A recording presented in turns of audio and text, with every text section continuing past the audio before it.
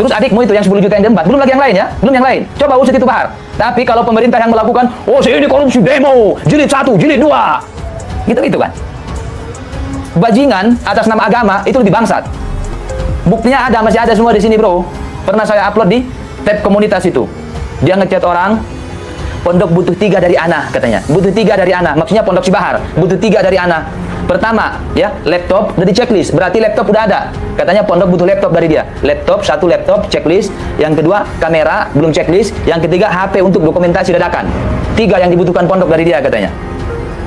Pertama kamera, eh, pertama laptop, tapi laptop udah checklist, berarti laptop udah ada, udah ada. Yang kedua kamera, yang ketiga HP untuk dokumentasi dadakan. Kenapa Bahar nggak kau tindak itu? Atas nama pondokmu itu, atas nama pondokmu itu. Bukannya dia mengkhianatimu, dia sebagai muridmu mengkhianati dirimu, mengkhianati namamu, mengkhianati pondokmu. Kenapa nggak kau bikin remuk kayak Bang Rian Jombang di lapas itu? Kan kau bilang Rian Jombang itu karena khianat kepadamu. Makanya kau hajar. Hajarlah itu si si, si Syahril dari Tegal itu. What? Indonesia sejak dulu kala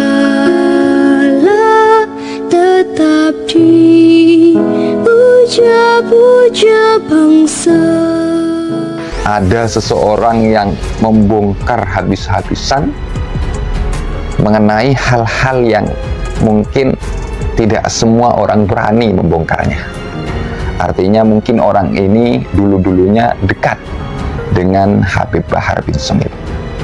Seperti apa videonya? Biar terungkap bagaimana faktanya dan apakah ini benar atau tidak. Kita tonton dulu bagaimana videonya nanti kalian berikan komentar apa saja ataupun uh, berikan tanggapan apa yang sampean petik dari sebuah video yang akan kami uh, putar di uh, video kali ini. Jadi seperti inilah videonya. Full Cinta Ratu, Bang TJ nggak ada gratis Bang, ponakan saya di sana bayar, pendaftaran pun bayar Bang. Betul, dan saya pernah satu setengah tahun jadi wali santri. Pernah. Uang daftar ada, uang bulanan ada, belum termasuk uang kitab. Belum termasuk saudare, belum termasuk Muhammad Ridho, yang 10 juta kenapa nggak diupdate Bung? Anda tahu jawabannya, 10 juta langsung naik ke langit. Oh iya, langsung booking. Langsung booking satu kapling surga ya, 10 juta. Makanya nggak diupdate. Kali ini ada seseorang yang mengungkap hal-hal yang masih belum kita ketahui. Ada seseorang yang membongkar habis-habisan mengenai hal-hal yang mungkin tidak semua orang berani membongkarnya. Artinya mungkin orang ini dulu-dulunya dekat dengan Habib Bahar bin Smith dalam video yang baru kita tonton, ada sebuah perkataan atau ungkapan yang cukup menarik ya atau mengherankan. Artinya orang ini sangat berani berkuar-kuar mengatakan ini dan itu tentang Habib Bahar dan adik-adiknya dan saudara-saudaranya. Itu banyak yang bilang itu si Bahar pesantrennya gratis segala macam ya. Bahkan mulut si Bahar sendiri itu ngomong itu di YouTube masih ada videonya katanya dia bangun-bangun pondok itu modal semangat ya. Modal semangat jadi nanti keluar dari sini jadi ulama-ulama yang lurus, yang tidak bisa disogok dan di sini semua anak gratiskan. Masih ada itu videonya di YouTube. Gratis dari mana, tai? Kita nggak masalah kalau ada pondok membuat biaya bulanan, SPP atau apalah namanya. Oh nggak ada masalah dong. Cuman kasih tahu, jangan jangan kasih tahu gratis. Gratis gratis di situ. Sampai-sampai Bahar buat wawancara. Iya di wawancara yang itu, di situ mulutnya bilang gratis itu. Gratis dari mana? 350 sebulan. Dulu, sekarang mungkin udah naik. Karena kata si Bahar kalau salah akui salah ya. Akui salah itu. Kalau salah akui salah. Bahkan dari diri anak sendiri katanya. Itu dari dirimu. Bukan itu. Yang kau bilang gratis faktanya nggak gratis. Terus adikmu itu yang 10 juta yang jembat, belum lagi yang lain ya, belum yang lain. Coba usut itu Bahar. Tapi kalau pemerintah yang melakukan, oh saya ini korupsi demo, jilid satu, jilid dua, gitu-gitu kan. Bajingan atas nama agama itu lebih bangsat.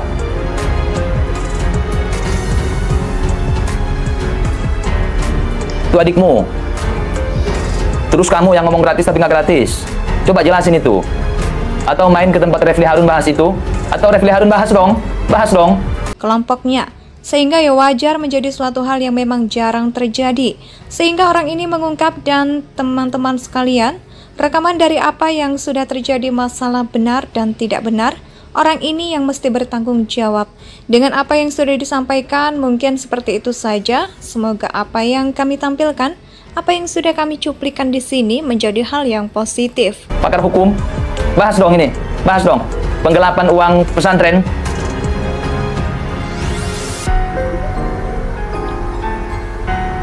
Jingkung aja dijual apalagi mondok, yuk bang.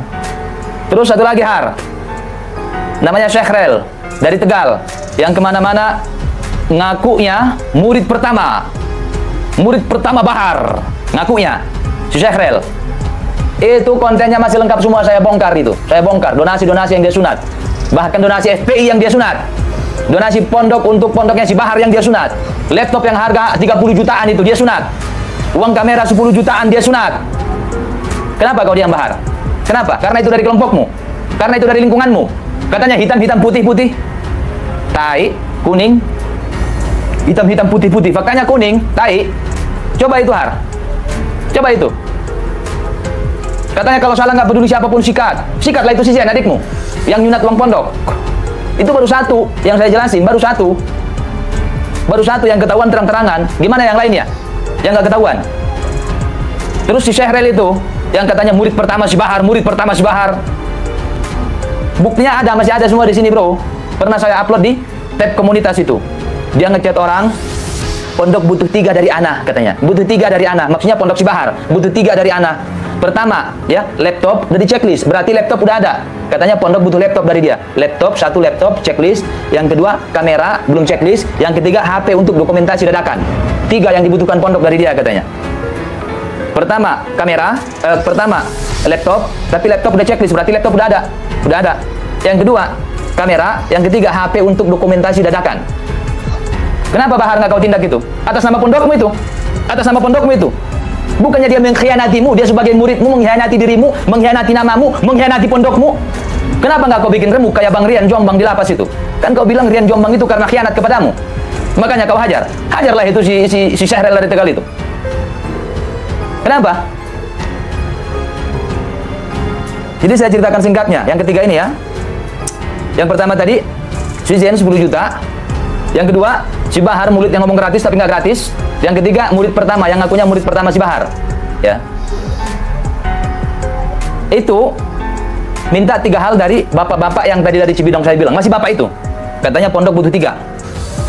Laptop, kamera, dan HP untuk dokumentasi dadakan. Laptop sudah dia checklist di situ. Betul. Karena itu di konten sebelum-sebelumnya, satu tahun yang lalu sudah saya jelaskan. Sudah saya jelaskan, ada beberapa orang anak-anak yang mendonasikan laptop mendonasikan laptop. Harganya itu itu laptop dibeli bukan pakai rupiah, tapi pakai pound sterling. Kalau dirupiahkan kurang lebih 30 juta itu laptop. Dikasih, dikasih ke orang suruhan si Syekhrel, ke anak buahnya itu.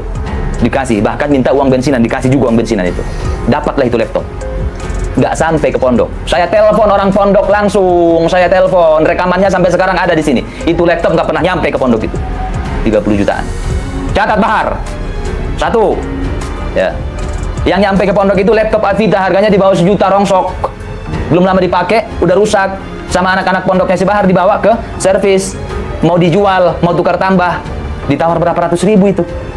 Ke mana laptop yang harga 30 jutaan itu? Syahrel kenapa kau diamkan Bahar? Itu kamera saya waktu itu masih ada di grup sama si Syahrel itu. Kamera ya. Target kita minimal 10 juta untuk kamera kamera yang besar itu. Untuk pondoknya si Bahar Tiap hari donasi, donasi, donasi, donasi, donasi di situ. Kalau nggak mau donasi, keluarkan dari grup. Saya yang keluarin itu. Saya adminnya di situ. Di grup itu. Sekian bulan, sekian bulan, dapatlah. Ya, dapatlah 10 juta. Kemudian kita beberapa orang teman-teman di grup itu mau besuk si Bahar waktu itu di lapas Pondok Rajek, Cibinong, Bogor. Kumpul ketemuan lah di sana. Ketemuan bukan cuma sekedar di grup tapi ketemuan langsung. Besuk si Bahar. Kemudian setelah besuk si Bahar, saya dibawa oleh si Syahril ke Tegal, ke tempat dia. Dibawa di situ, sampai di situ ada kamera. Ada kamera. Nah, kita senang dong, Alhamdulillah perjuangan kita selama ini ngumpulin donasi untuk beli kamera yang bagus supaya pondok Habibana ya punya kamera. Senang dong. Saya disuruh pegang kamera. Difoto lah sama dia, kemudian dikirim ke grup, dikasih tahu ke teman-teman grup. Inilah hasil perjuangan kita bla bla segala macam. Oh, senang, luar biasa. Saya juga senang. Senang luar biasa karena prinsipnya adalah Bukan seberapa besar engkau ada di hati gurumu, tapi seberapa besar gurumu ada di hatimu. Itu prinsipnya, bro. Ya, 10 juta udah terkumpul, udah ada kamera. Itu, udah ada kamera, senang dong. Ternyata kamera itu dibelinya bukan pakai uang donasi kita yang kita kumpul-kumpulin, bukan. Terus dibeli pakai apa? Bapak-bapak yang dari Cibinong yang saya bilang pernah ke Pondok Sibahar ngasih 10 juta ke si Zen buat pondok itu, bapak itu juga yang belikan kamera. Dia nggak kasih uang ke si Syehrel, tapi dia beli kamera harganya 10 jutaan. Pas ketemu di lapas Pondok Rajek itu dia kasih, kita nggak ada yang tahu. Kalau dia ngasih kamera, langsung diumpetin ke mobil. Dia kasih bulat-bulat itu kamera dikasih bulat-bulat kamera. Ke mana uang kamera itu Syahril? Ke mana? Yang 10 jutaan ke mana? Atas nama pondoknya si Bahar itu. Eh Bahar kenapa kau diamkan? Kenapa? Ada sebuah perkataan atau ungkapan yang cukup menarik ya atau uh, mengherankan. Artinya orang ini sangat berani ya berkoar-koar mengatakan ini dan itu tentang Habib Bahar dan uh, adik-adiknya dan saudara-saudaranya kelompoknya. Sehingga ya wajar menjadi suatu hal yang uh, memang jarang terjadi. Sehingga orang ini mengungkap dan teman-teman sekalian tahu rekaman dari apa yang sudah terjadi. Masalah benar dan tidak benar orang ini yang mesti bertanggung jawab dengan apa yang sudah disampaikan. Mungkin seperti itu saja. Uh, semoga apa yang sudah kami tampilkan uh, apa yang sudah kami cuplikan di sini menjadi hal yang positif Indonesia tanah air peta pusaka abadi nan jaya